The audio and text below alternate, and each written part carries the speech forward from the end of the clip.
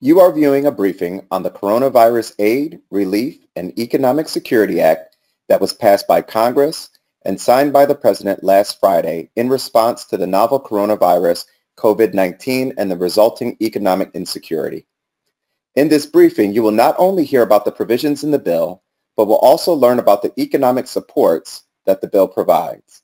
This briefing is being recorded April 3rd at 10 a.m and the information will be presented as currently understood. Information about the bill continues to evolve, including the distribution of guidance by the Small Business Administration late last night. We will offer an update this coming Tuesday afternoon with additional details and questions and answers. Today, after a welcome from Jennifer Leonard, President and CEO of Rochester Area Community Foundation, we will hear presentations from Josh Gewolb, Esquire of Harter Secrest Emery, John Fogel, Rochester Regional Market President of Five Star Bank, and Todd Butler, President and CEO of Causewave Community Partners. To begin our briefing, allow me to turn it over to Jennifer Leonard. Welcome to all of our partners. Even in the best of times, our nonprofit sector and the work we do is critically important. We distribute food, educate our children, and share our vibrant culture and history. Indeed, we nurture bodies, minds, and spirits and improve the lives of all of our region's residents. And together, in this moment of crisis, we are rising to meet the challenges presented by the novel coronavirus and the COVID-19 disease that it produces. But to do this work, we know that nonprofit organizations need to be sustained. At the Community Foundation, we are grateful to work with many partners. Today, Harder C. Crest and Emory, Five Star Bank, and Causewave Community Partners to invest in and protect the impact that all of you make. You may also be aware of the Community Crisis Fund begun by United Way and the Community Foundation with many philanthropic and community donors that is currently making grants to help the helpers in human services.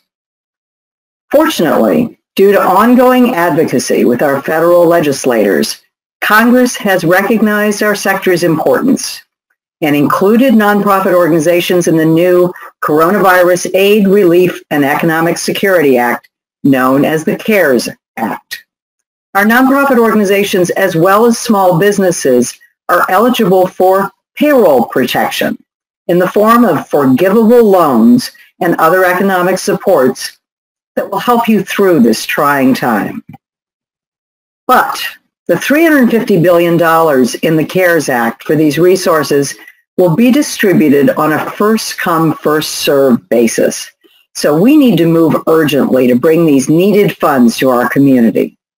This briefing is intended to offer you practical information on the requirements and processes that are necessary to obtain these dollars so that as a community, we are positioned for a vibrant recovery.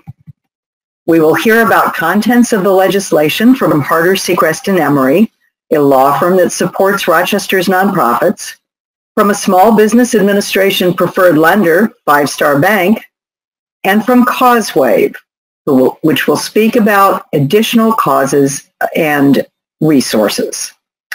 Without further ado, allow me to introduce my colleagues Josh Gewolb, Esquire from Harter Secrest and Emery, and John Fogel from Five Star Bank, who will discuss provisions in the legislation. Thank you, Jennifer, for this. Thank you, Jennifer, for this opportunity to discuss these important topics today. We greatly appreciate this as it's a very much widely discussed within the community and uh, looking forward to going through the materials today. With that, uh, we've got a presentation that uh, should be on the screen right now and uh, looking to page two, we're looking at the disclosure side of things as uh, typical bankers do, especially with an attorney on the, the line with us here. It's important to go through that. Uh, the materials that we're going to present today are prepared for informational purposes only and uh, not uh, necessarily designed or intended to provide financial, tax, legal, or investment advice uh, from that side. the other important thing to note with our presentation today is that this information was prepared based upon the uh, best information that we had earlier this week. And as we uh, have come to find out that there's, um, this is an evolving topic and uh, more will come out as, as Simeon mentioned earlier next week from our side of things. Uh, as the Small Business Administration provides that additional information and guidance to us. Donna, turning to page four and starting the presentation.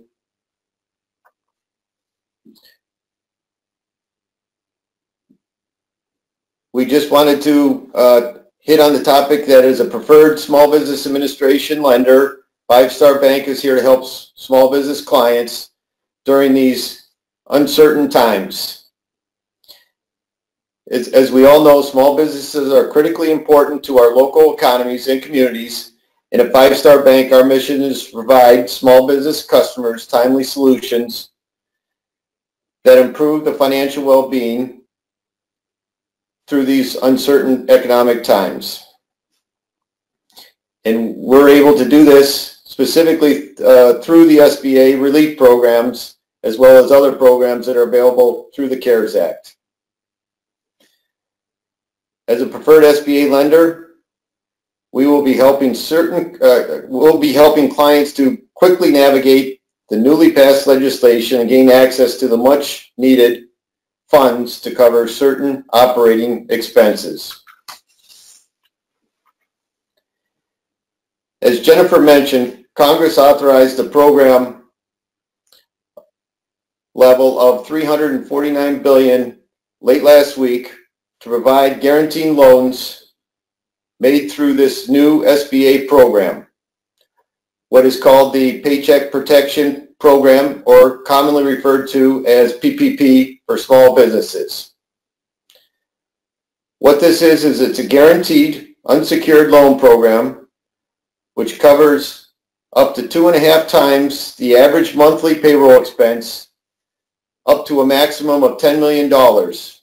And this is to help fund certain operational costs of eligible businesses, organizations, and self-employed persons during this pandemic. Loans under the PPP are available to eligible recipients through June 30th of 2020 with streamlined eligibility criteria. Existing SBA lenders such as Five Star are delegated authority to approve and make loans to these eligible recipients that one, were in operation as of February 15th, 2020, and two, had employees to which they paid salaries and payroll taxes or paid independent contractors. Borrowers also need to make certain good faith certifications that the current economic uncertainty makes the loan necessary and proceeds will be used for retaining workers, maintaining payroll, and cover existing overhead. It should be noted on here, as you can see in bold, that it does not need to show credit was unavailable at this time, which is typically common with the SBA. I should note that, again, real time, uh, we understand that the application for this was just recently released by the SBA. And to be specific, it does clarify eight to nine different certifications that the borrower will have to make. John, this is Josh. Before you leave the slide, I just wanted to note to folks, the way that this works is it's been grafted onto an existing SBA loan program. And that loan program ordinarily only applies to small businesses that are operated on a for-profit basis in the recent CARES Act, Congress extended that to include nonprofits. The fit of nonprofits with the general program guidance is a little bit unusual because it contemplates for-profit businesses. So what we've tried to do in this presentation, and this will continue throughout all the slides, is for us to try and explain the best we are able based on the guidance that's available to date, how this is going to work for nonprofits um, in um, this new environment. Thanks, Josh. On uh, slide six, we're looking at where and when I can apply and turning to where I can apply is, and as we mentioned earlier, it's through any existing SBA lender that's offering this, such as Five Star Bank, which is a preferred SBA lender. When can I apply? That is today, starting April 3rd, 2020. Small businesses and sole proprietors can apply for and receive loans to cover their payroll and certain other expenses through existing SBA lenders. The one thing I'd add here, John, is we've gotten lots of questions on this, is uh, what kind of approvals do I need in order to go into the program from an internal governance perspective? And our answer to that is this is real debt. Um, there's a hope, obviously, it will be forgiven. And I know later in the presentation, John, you go through the criteria under which it would be forgiven. Um, however, it's styled as debt, and if um, the borrower doesn't do the things that it's required to do, it could end up having to pay this back. So we believe that um, whatever approvals would ordinarily be required at your organization to um, take out indebtedness um, would apply here. For example, can your executive committee do it itself, or do your bylaws require your board to do it? are there certain uh, criteria under which the executive director or CEO is authorized to borrow without going up um, to uh, uh, approval at a higher level of governance. So I'd urge all nonprofits to think about this just like they would think about any other borrowing when considering an internal approval. Thanks, Josh. Also, you'll see on page six, it's starting April 10th of 2020, independent contractors and self-employed individuals can apply for and receive loans to cover their payroll and other certain expenses. On slide seven, we talk about PPP eligibility. This covers eligible small business concerns, business concerns, nonprofit organizations, as Josh mentioned, veterans organizations, individuals who operate sole proprietors, as sole proprietors and independent contractors, self-employed individuals, and tribal business concerns. As Josh mentioned, and I think he'll elaborate on right now, that it's very unique that they did include nonprofit organizations with this particular act program. Yeah, that's right. And, you know, there's a definition in here of nonprofit that's really um, rather restrictive. It's 501c3s only. So your social clubs, your business leagues, your social welfare organizations, um, those aren't eligible.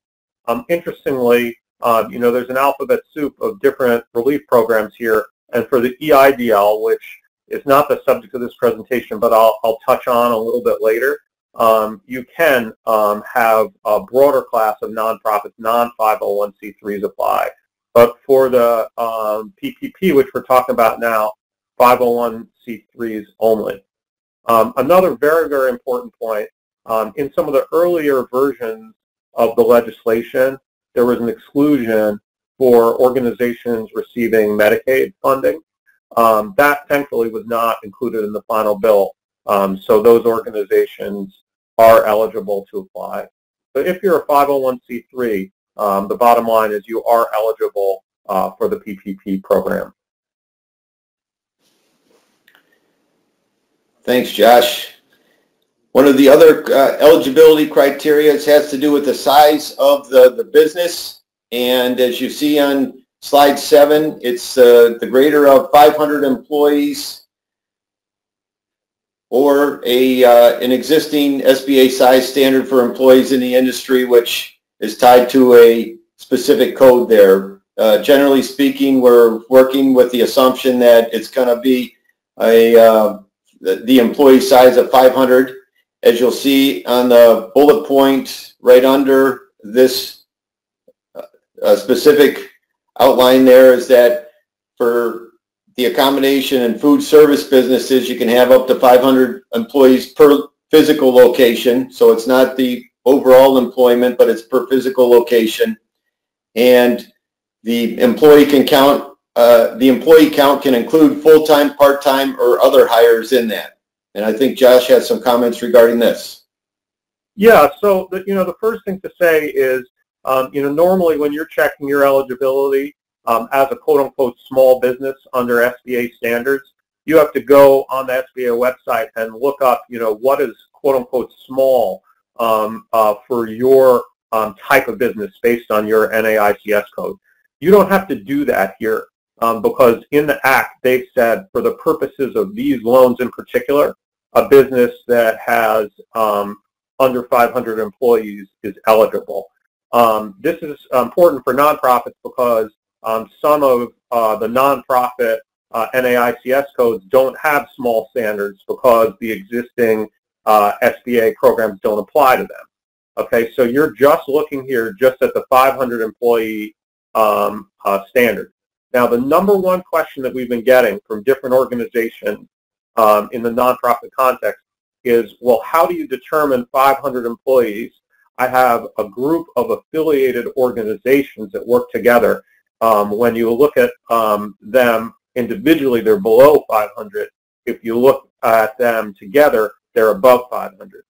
And what's tricky here is that the affiliation rules, again, and this is obviously a theme, are not designed for the nonprofit context. Because the way that the CARES Act works is it, it ties into existing SBA regulations regarding affiliation that are designed for the for-profit context.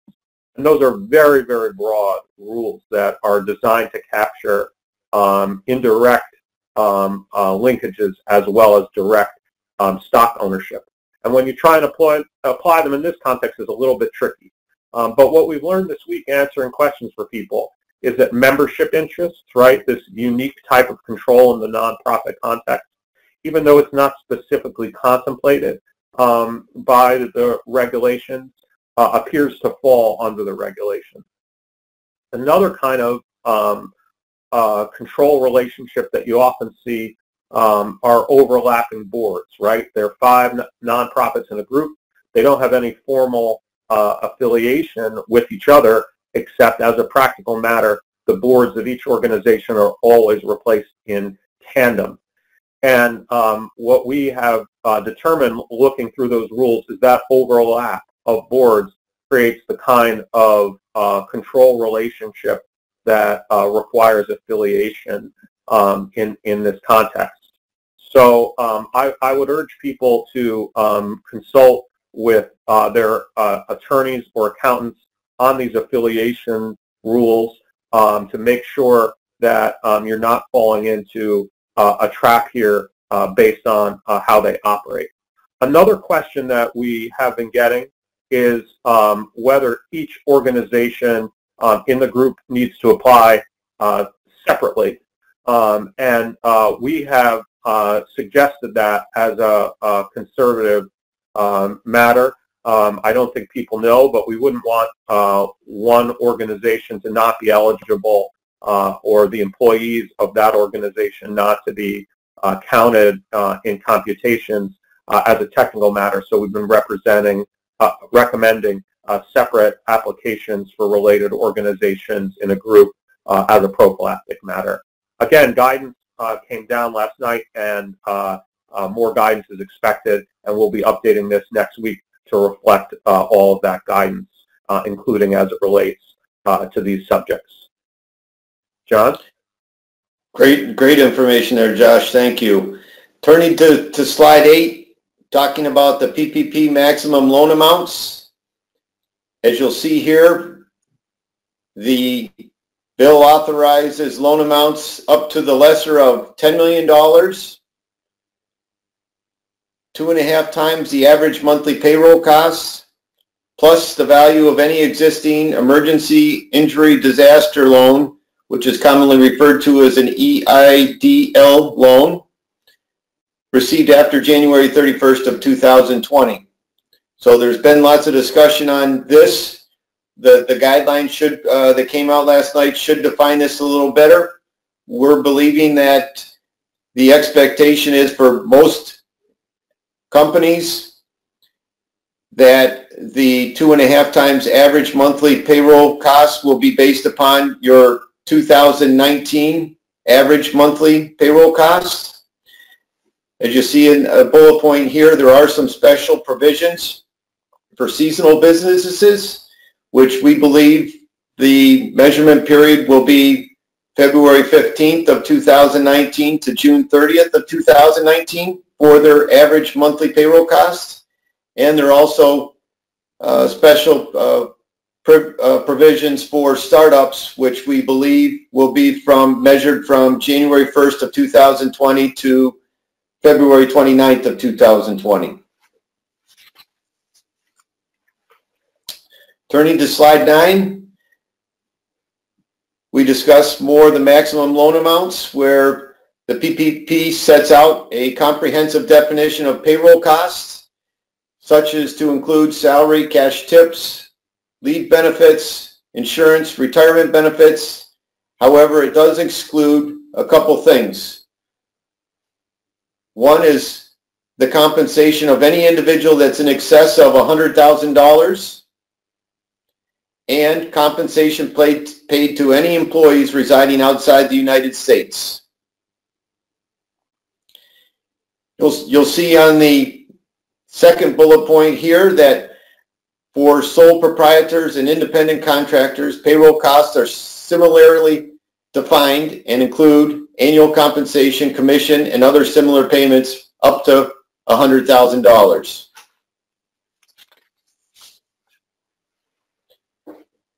Turning to slide 10, we talk about allowable uses for loan proceeds.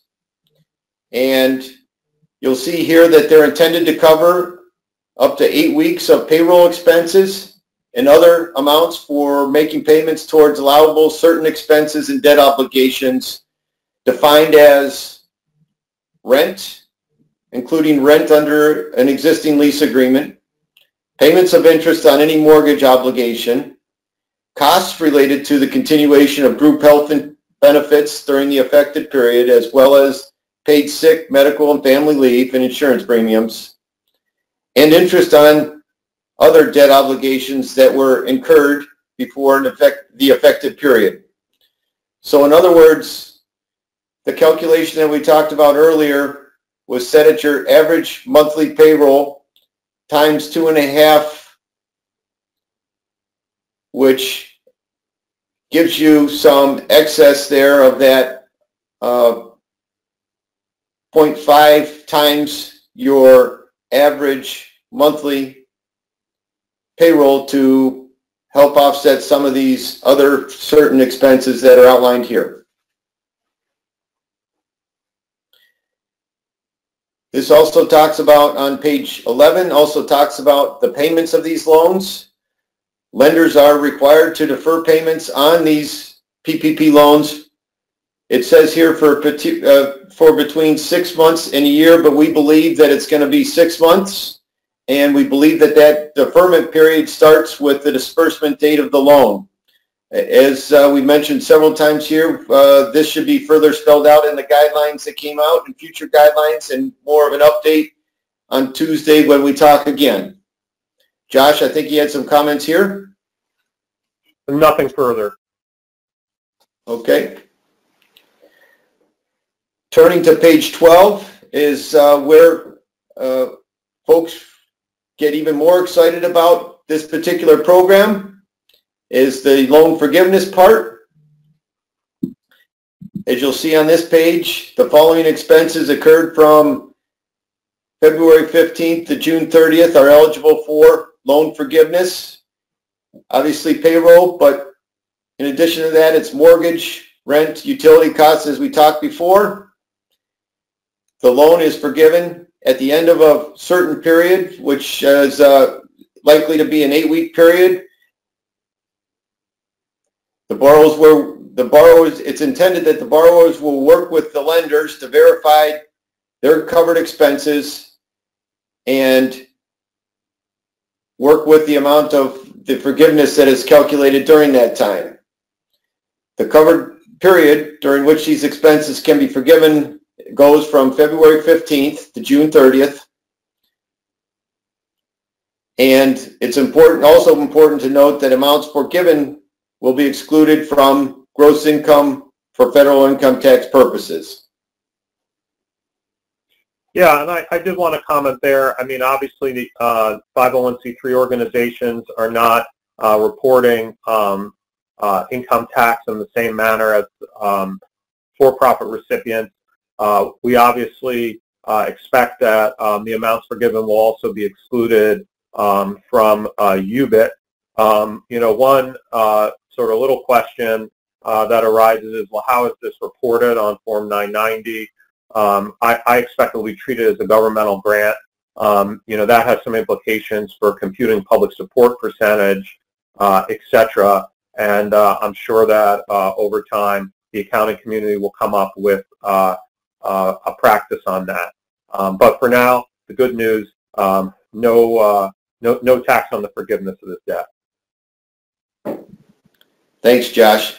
And from our perspective, we're still waiting further clarification and uh, review of the guidelines to define and understand exactly what information is going to be required to support the um, monthly payroll calculations and also in regards to the reporting that's going to be necessary towards the end of this loan in regards to calculating the potential forgiveness.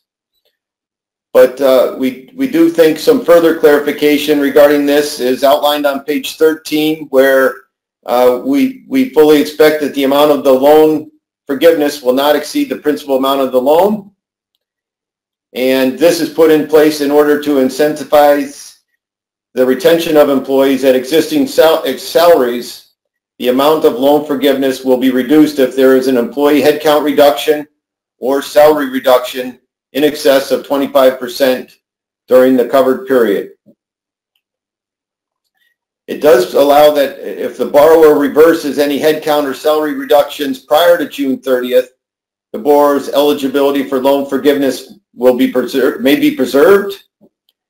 And if you lay off, if you still lay off employees, the forgiveness will be reduced by the percent of decrease in the number of employees laid off.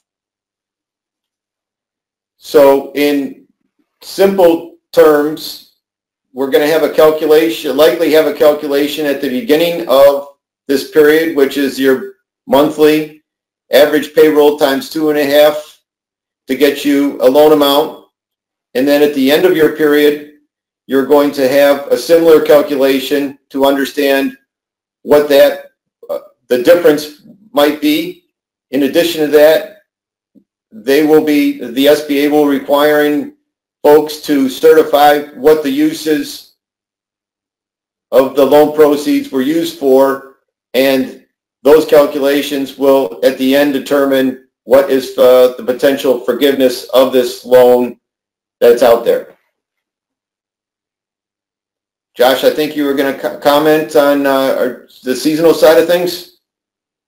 Oh no, you know, I, I think you've covered it. The, the, the point here is that there are various things that could occur, and there are special situations in in which um, you know you could inadvertently run into a trap where um, the the loan um, would not be forgiven because of what you ended up um, uh, doing in the future. So it's just something for you know nonprofits and boards, particularly in a fiduciary context, to be aware of. This, this, this is debt subject to forgiveness, it's not um, a grant in the first instance. Thank you. And as uh, just to take off on that point a little bit, that the borrowers will be, as in, and as I mentioned earlier, the borrowers will be required to provide additional documentation to substantiate their eligibility for this forgiveness. Turning to page 14, other imp important things to uh, note with this PPP program is that there will be no fees charged to the borrower. Uh, the SBA will not collect a fee for the covered loan during the period. That is somewhat unique. And in addition to that, and very important, as I mentioned earlier, there's no credits, necessarily no credit statistics that we're aware of that will be uh, reviewed in this underwriting. There are no personal guarantees or there's and there is no collateral going to be required for these particular loans. I love the personal guarantee in this context. You got to get the, the executive director to put a mortgage on their home to guarantee this. Just April Fools. There are no personal guarantees at all, and, and, and certainly none for nonprofits.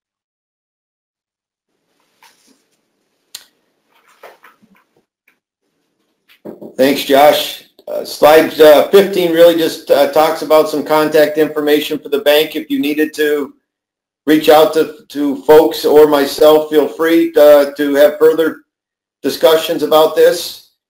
Page 16 discusses some other SBA relief programs that are out there. In particular, I wanted to highlight uh, two specific ones. One we should get some more details and guidance here very soon, but it uh, applies specifically to the existing SBA loans, and there is going to be a, a payment relief program. And that will, uh, like I said, be defined here shortly, but it's expected that the SBA will make direct payments of SBA loan obligations for up to six months to lenders for the SBA loans that are out there at this time. Another program that's out there that is uh, go, directs through the SBA and, and you don't have to go to one of the SBA lenders or preferred lenders is called the Economic Injury Disaster Relief Program. That's been out there for uh, a, a, few weeks now, uh, particularly here in New York, and that gives you the opportunity for to go directly with the, to the SBA for up to $2 million, potential 30-year financing, at a maximum rate of 3.75%. But as we alluded to earlier, if you do pursue that avenue or already have and are pursuing the PPP program, that will be rolled into one and included in your $10 million maximum loan amount. This completes our presentation here from our perspective, and we appreciate the opportunity to discuss these important topics, which will support our community, and uh, look forward to chatting more on Tuesday once we've had a chance to further review the guidelines and define some of the specifics within the program and share with you at that time. Thank you, John. I, I think um, uh, tech folks, there were a couple more slides up there um, on some tax matters. If you want to put those back up, it would be great. Wonderful. So, uh, folks, we just wanted to add, in addition to our focus on the PPP, um, some uh, additional benefits in the CARES Act and other legislation that might be applicable um, to nonprofit organizations. Um, the first one is the employee retention credit. So the way that this is structured um, is uh, as a credit against the employer's share of Social Security taxes. Now remember, um, when you have an employee, um, there's a portion of their Social Security that the employer pays, there's a portion that the employee pays.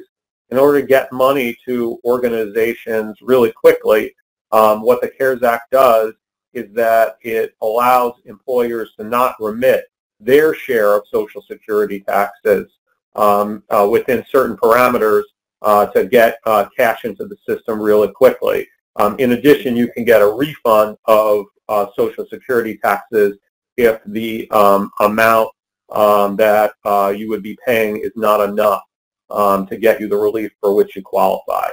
And this applies to a smaller group of employers than the PPP. It's organizations uh, whose operations were suspended or whose quarterly receipts have dropped precipitously, uh, more than uh, 50%, and there's a per employee cap. Um, very importantly for this and for um, the next uh, relief we'll talk about with respect to delay of payroll taxes, if you do receive a PPP loan, you're not eligible um, uh, uh, for this. Uh, so another way to get cash into the system really quickly, particularly for organizations um, that do not qualify for uh, PPP loans. Um, the other one, and and and this one um, is um, uh, not a elimination, uh, but rather a deferral, is just simply this program which allows you to take the 2020 Social Security tax payments and pay them in in, in the end of the year in 21 and 22. And again, employers who have uh, debt um, that's forgiven under the CARES Act aren't eligible um, for this one either.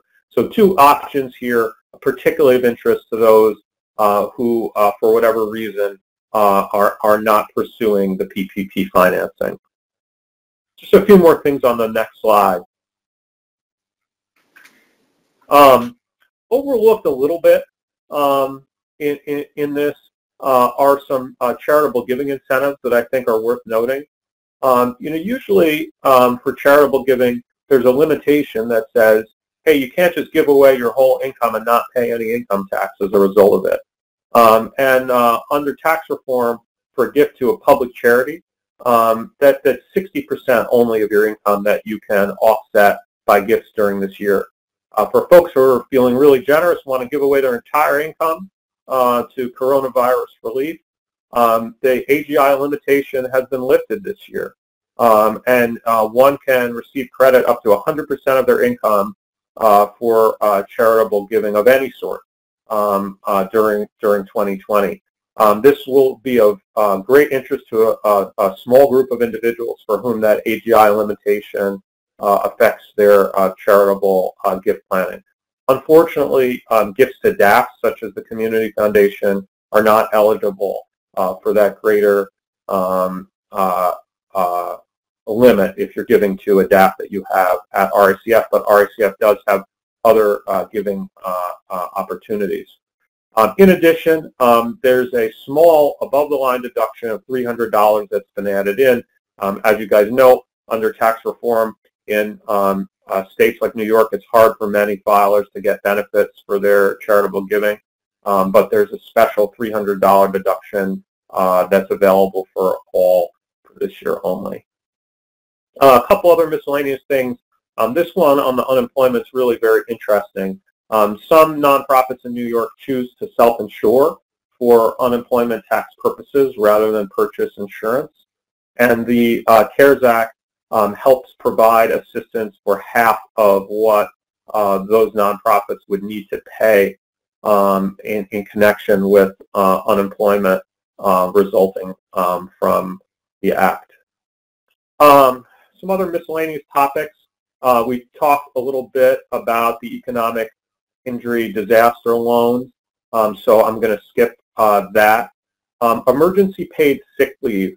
Um, this, this is another uh, benefit that's uh, applicable to nonprofits uh, under uh, the Families First Coronavirus Response Act, which is the legislation that was signed now um, two weeks ago. Um, employers, including nonprofits, um, receive um, tax credits to reimburse them for the cost of certain sick and family leave wages uh, directly related to uh, COVID-19. There's a 500 employer rule here, though the computation of that rule is different. Um, this is applicable to um, nonprofits as well as uh, uh, for-profit organizations. And then finally, um, and this is not under any new legislation, it's just under general um, tax principles, um, there are opportunities for uh, nonprofit employers to um, make payments directly to their employees that are non-taxable to help uh, the employees cope with the financial impact of the pandemic on them, um, specific uh, impacts uh, for which employers can uh, create a new type of employee benefit to help with necessary personal family living or, uh, God forbid, funeral expenses as a result of this disaster. Um, we have information on all of these um, uh, miscellaneous items on our website, um, and there's lots of uh, good uh, information out there. In particular, as flagged in here, I, I, I think that Independent Sector, which is a trade group for nonprofits, has done a really nice job um, analyzing um, these things as they apply to nonprofits. Uh, that's all we've got. Um, John and I are, of course, happy to answer any questions um, on our Tuesday um, follow-up call. Um, so please feel free to reach out. Thank you so much for having us. Good afternoon. This is uh, Todd Butler. I'm the president and CEO of Causewave Community Partners and really pleased to have the opportunity to speak with you all today about the impact of the coronavirus on nonprofit organizations and some support that Causewave has been able to provide for nonprofit organizations seeking uh, guidance and assistance and consultation regarding this issue. Causewave is a nonprofit organization and has been in existence since 1950, was founded as the Ad Council of Rochester, and generally provides two types of partnerships with the community. The first is what we call capacity building with organizations, and the second is community impact with coalitions. So the work that we're doing now to help organizations cope with the impact of the coronavirus certainly falls underneath this, uh, the capacity building with organizations category. Our community impact with coalitions work is a wide variety of activity from lead poisoning prevention to some work we've been doing over the past two weeks with the Monroe County Health Department for public health messaging. But today we want to talk a little bit about a program that we launched uh, after the effects became more clear of the coronavirus on our community. So we have offered uh, to the nonprofit community uh, what we're calling COVID-19 consults. Um, they are free consultations with Causewave staff and community volunteers who have raised their hand to help the nonprofit sector. In the first 48 hours after the announcement of these free consultations, we had 42 scheduled. Uh, and over the last week or so, we've uh, um, nearly doubled that amount. And so many nonprofit organizations are taking advantage of this uh, opportunity to gain some outside perspective on uh, the variety of issues that we often have not had to think about seriously before. Some of the topics that we're covering in these consults uh, are shown on the screen. Crisis communications uh, is a topic that many organizations uh, um, have not planned for in advance, and uh, and now is the time to to have those conversations and be ready for uh, crisis like the one we're in, or uh, other crises that might affect your individual organization during this situation. Uh, internal and external communications with constituents and stakeholders is something we've been talking to many organizations about, and uh, that's uh, been helpful to many to have a, a, thought partner on, on the best way to do that. Fundraising has been a very uh, popular topic as well. Many organizations have had to cancel or postpone their events, and many other organizations uh, are also uh, trying to figure out exactly how to interact with their donors now and, and should they be fundraising, should they be reaching out, uh, or is now not the appropriate time? And the, the answer to that is different for every organization, and we're, we're happy to help organizations sort that out. Another uh, topic we've talked with many organizations about is how to leverage your programs and your expertise uh, to benefit the community during this crisis. Uh, you do not have to be a uh, public health delivering organization to have a relevant uh, role during this crisis. And so we're trying to help organizations figure out how they can help uh, families stay busy at home or how they can help uh, folks figure out how to interact uh, with their loved ones without uh, violating some of the public health recommendations around uh, social distancing. Many organizations are transitioning to virtual operations, have been forced to do that, and are looking for ways to continue to interact with folks that they normally interacted with face-to-face uh, in the form of their clients or their customers. We've been helping organizations sort that out, identify free or low-cost tools that are available to them to do that. Uh, many organizations are uh, pivoting their priorities. Some organizations have had to shut down a lot of their operations, and uh, but they still are able to maintain some of their staff and are looking for ways to uh, uh, to address uh, the community's needs in addition to their organization's sustainability. And many of the conversations we've been having have really been around identifying opportunities to sustain the mission of the organization. So th- those are some of the topics we've been talking about, and, and I would say that uh, the next slide here identifies uh, in the red box a, a, comment that we heard from one that's represented of by the feeling of many. Just having uh, an external thought partner uh, to help think through what we know now, uh, identify what we don't know now, and how we're going to move forward uh, successfully as an organization is something that's provided a lot of comfort to to organizations and given them some some really tangible next steps to take. But generally, some of the guidance we've been sharing with organizations is that now is not the time uh, for silence. It can feel like uh, you want to stay out of the din, but uh, if we can have the contributions we're making to the conversation adding to understanding as opposed to adding to noise, then, then now is certainly not the time uh, for silence. So we're encouraging organizations to talk to your staff more than you ever have before. Um, uh, regular updates on a weekly basis, if not more frequently, are very important to your staff talking to your donors, checking in with them, seeing how they're doing, and uh, letting them know how this is affecting your organization uh, and giving them the chance uh, to do something is is a real opportunity uh, that you can present to uh, to to your supporters and and to your donors. So we are uh, here to help the nonprofit sector. We are recruiting volunteers with specific uh, uh, PPP program expertise to help think through whether this is a good opportunity for your organization or not.